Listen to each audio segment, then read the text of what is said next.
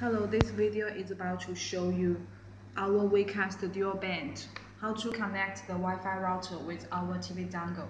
To connect the Wi-Fi router, we need to do it under DLNA mode. So press this button here and switching to the DLNA mode.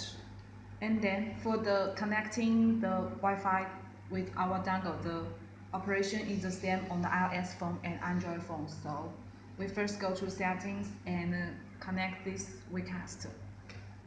Input this password.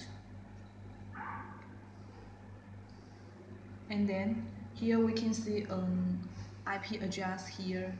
Go to your Safari or browser, input this IP address. 192.168.49.1 and here we can see the Wi-Fi AP click this icon. And here scan and add network. This add network it could allow us to add a hidden Wi-Fi. And uh, for usually for the visible Wi-Fi we just scan. And choose one Wi-Fi which is available. And input the password. And connect and uh, after the connection here it shows the Wi-Fi router's name.